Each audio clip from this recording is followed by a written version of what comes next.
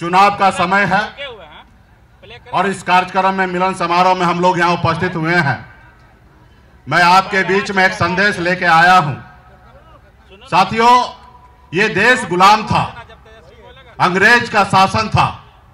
और आपके और हमारे पूर्वज ने मिलकर इस देश के लिए पौने 200 साल तक लड़ाई लड़ा। हज़ारों लाखों के संख्या में हमारे पूर्वज ने बलिदान दिया।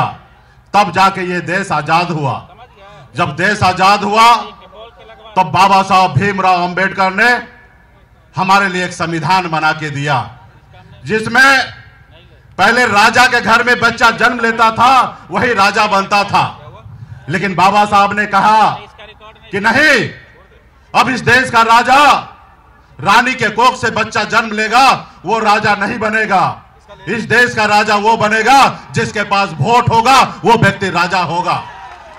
और बाबा साहब ने हमें एक संविधान बना के दिया। हमारे देश के लिए एक लोकतंत्र दिए। और साथियों, हमारा देश आज़ादी के 77 साल बीत गया।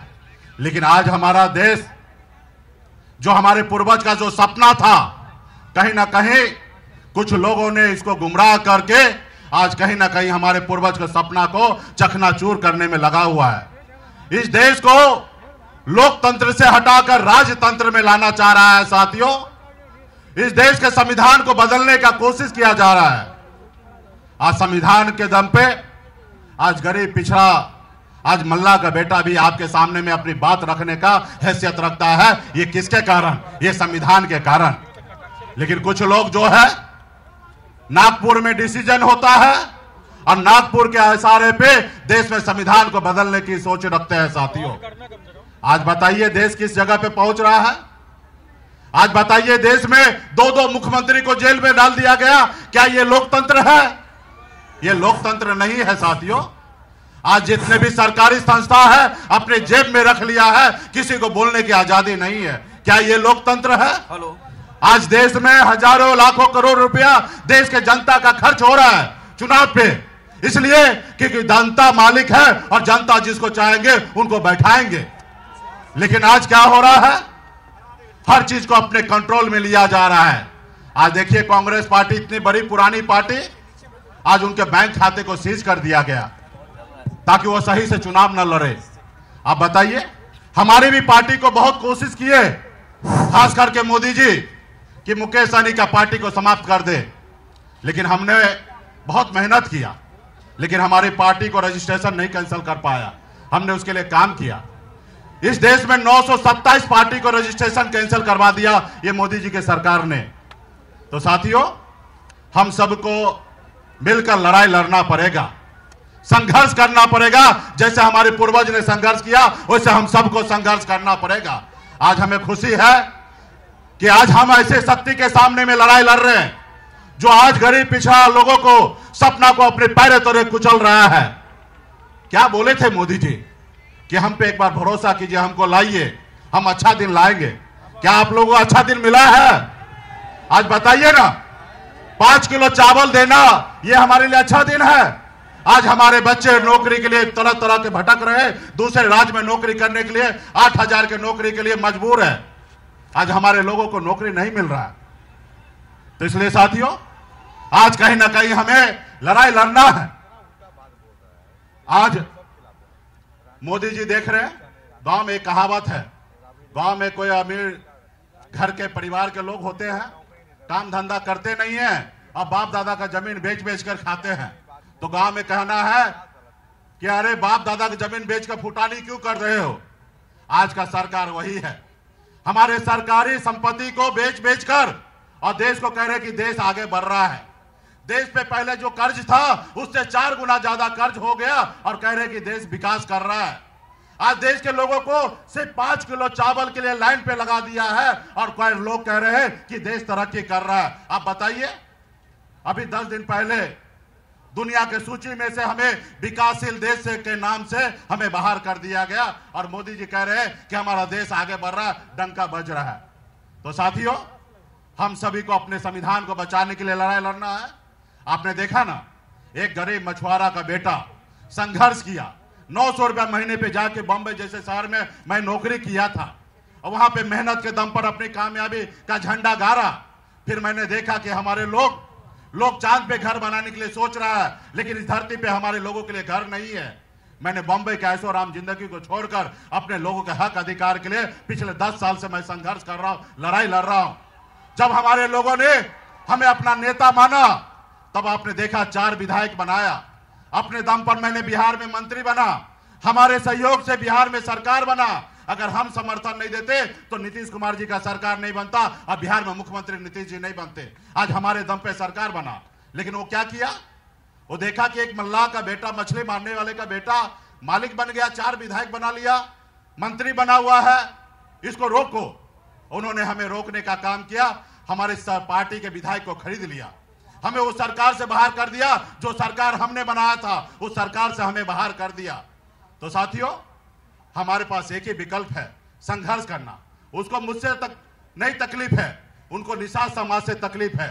उन्होंने देखा कि मुकेश सहनी के नेतृत्व में निषाद समाज आगे निकल जाएगा। जैसे हमारे आदरणीय श्री लालू प्रसाद जी के नेतृत्व में पूरे बिहार के गरीब पिछड़ा दलित सभी लोगों ने अपने पैर पे खड़ा होने का काम किया। उसी तरीके से देखा कि एक मल्ला का बेटा बहुत तेज़ी से काम कर रहा है। इसको रोको। और वो हमको गुलाम बनाने का कोशिश कर रहा है। आज बताइए, हमारी लड़ाई है कि जब दिल्ली में निषाद को आरक्षण मिल रहा है, जब बंगाल में निषाद समाज के सभी उपजाति, चाहे वो बिंद हो, बिलदार हो, नुनिया हो मलाह हो, चाहे हो, तियर हो, बनपर हो, केवट हो, सभी को आरक्षण मिल रहा है इसी का। और इसके लिए हम लोग लड़ाई लड़ रहे हैं। कई बार मोदी जी ने वादा किया कि हम आपका काम करेंगे, हम आरक्षण लागू करेंगे। जब उसका समय निकल जाता है तो भूल जाता कि मल्ला का बेटा कौन हो तुम? तुम्हारा समस्या क्या है? तो आज देश के प्रधानमंत्री का काम है कि हर गरीब युवा के बारे में सोचना, हर जाति धर्म के बारे में सोचना, लेकिन वो नहीं सोचते हैं। वो आएँगे, आपको लड़ाने के लिए आएँगे, धर्म के नाम पे लड़ाने के लिए आएँगे। तो इसलिए साथियों, हम सब इस धन संसार में, इस भारत में, हम सब जाति धर्म के लोग आपस में भाई बनकर, भाईचारा के साथ रहते हैं। इस देश की आज़ादी दिलाने के लिए हर जाति धर्म के लोगों ने खून पसीना बहाया। लेकिन आज वो लोग नफरत की राजनीति कर रहा है। आज जबकि उनको जोड़ने की समय है लेकिन यहाँ पे तोड़ने की बात करता है। जब भी, समाज में जो भी तोड़ने की बात करे वो आपका कभी नहीं हो सकता है सिर्फ़ वो अपने स्वार्थ की राजनीति कर रहा साथियों। आज इसलिए मैं लड़ाई लड़ने के लिए मैदान में आया हूँ साथियों। हमें खुशी है। इसलिए अगर आप लोग भी अगर चाहते हैं कि समाज में बदलाव आए गरीब को नौकरी मिले सामाजिक न्याय मज़बूत हो तो आप लोगों को इंडिया गठबंधन के साथ मजबूती से खड़ा होने की आवश्यकता साथियों। इंडिया गठबंधन के साथ होना है। जीता जागता उदाहरण ले लीजिए। आप जब आपने देखा 2022 में जब नीतीश कुमार जी मोदी जी को छोड़कर और तेजस्वी प्रसाद यादव जी के साथ सरकार बनाए तो क्या फ़ायदा मिला? कई लाख युवा को नौकरी मिला।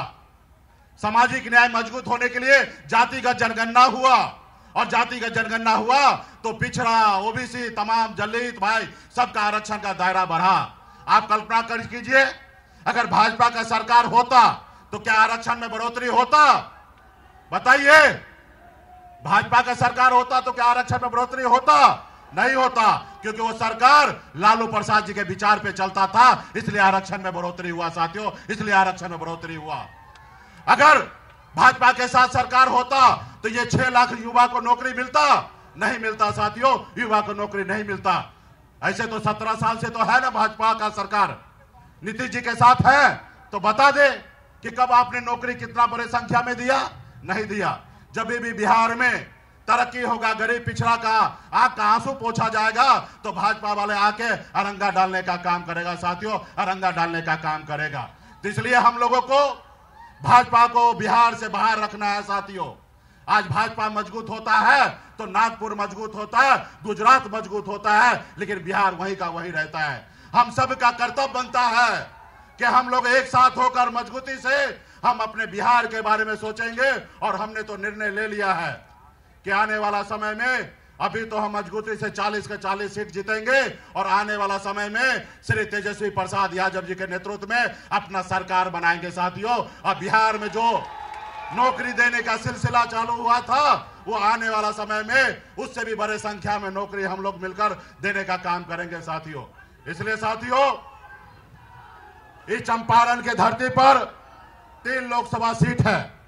एक राष्ट्रीय जनता दल की पार्टी वाल्मीकि नगर लड़ेंगे, और बेतिया से कांग्रेस पार्टी है, और मोतिहारी से वीआईपी पार्टी का प्रत्याशी वहाँ पे आएँगे साथियों। और आप सब मजबूती से सारे 40 के 40 लोकसभा सीट मजबूती से जिताने का काम कीजिएगा, तब आने वाला समय में गरीबी गरीब का कल्याण होगा साथियों। बहुत बहुत धन्यवाद देता हूँ। मंच पे उपस्थित सारे नेता को बहुत बहुत धन्यवाद, और सभा में बड़े संख्या में उपस्थित सभी नेतागण को बहुत बहुत धन्यवाद देता हूँ। चुनाव के समय में फिर से मैं आप लोगों के बीच में आऊँगा। और पार्टी का एक एक नेता आपने संकल्प लिया था, हाथ में गंगा जल लेके माँ गंगा को सौगंध खाया था कि आने वाले समय में अपने बच्चे के भविष्य के लिए लड़ाई लड़ेंगे। वो संकल्प को याद रखिएगा, एक एक गाँव में जाइएगा, एक एक टोला में जाइएगा और सभी को याद दिलाकर अपने महागठबंधन, इंडिया गठबंधन के पक्ष में, पूरे बिहार में मजबूती से खड़ा होकर वोट गिराने का काम कीजिएगा। बहुत बहुत धन्यवाद देता हूँ सभी साथी को।